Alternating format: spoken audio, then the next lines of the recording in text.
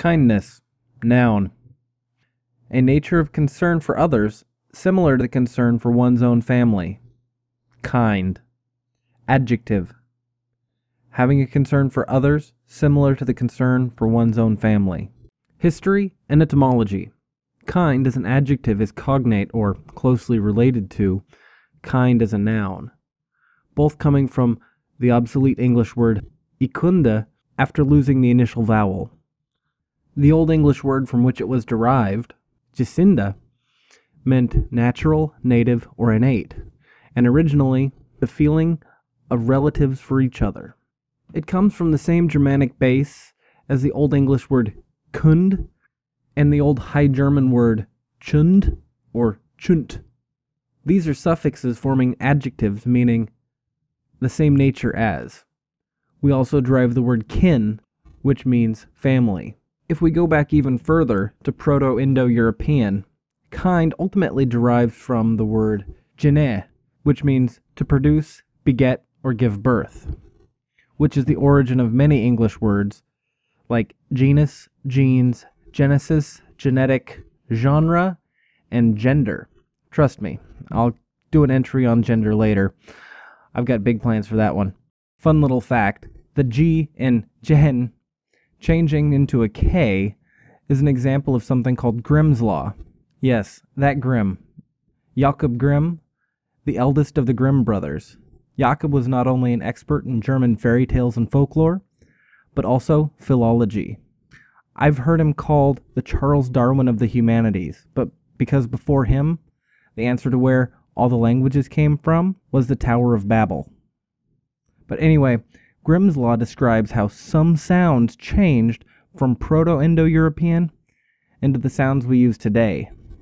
Part of Grimm's Law explains how what's called a voiced aspirated stop, like the letter G in the Proto Indo European word gen, will eventually become a voiceless fricative, like the K in kind in modern European languages. I'll probably end up doing a whole entry on Grimm's Law in the future at some point. I look forward to doing that because I don't know a whole lot about it and it'll be fun to explore. Prescription.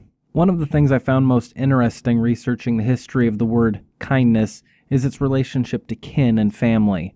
Humans treat their family better than they treat other people. Humans have this ability to take that behavior and extend it to strangers and people around them, and that's what we call kindness. Recently, I saw one of the most amazing examples of kindness I think I've ever seen in my life. Recently, Richard Spencer, one of the heads of the alt right movement, visited a college campus in Florida, and there was a massive protest outside. And one of the white supremacists who had come to listen to Richard Spencer speak, I mean, he was literally a Nazi. He had swastikas on his shirt. He was being harassed by the crowd, and you've all heard the meme punch a Nazi. And that's definitely not kindness he was being harassed and punched. To these protesters, he wasn't a human that just didn't understand what was going on, didn't understand his own beliefs. He was a symbol that needed to be destroyed. At some point, an African American high school sports coach who had come to attend the protest approached this man and tried hugging him, an act of kindness like a member of his family. It took three attempts. Eventually, the man reciprocated, wrapped his arms around him, and the coach asked, Why do you hate me? And the white supremacist said, I don't know. That moment probably changed that man's life forever because of a simple act of kindness. Not fear, not rage, not hate, but kindness. Thank you for watching. If you enjoyed this entry in my video dictionary, please leave a like or an upvote. If you're a lover of words and the history of the English language, please subscribe and follow my channel for more. And please don't hesitate to let me know what you thought in the comments below.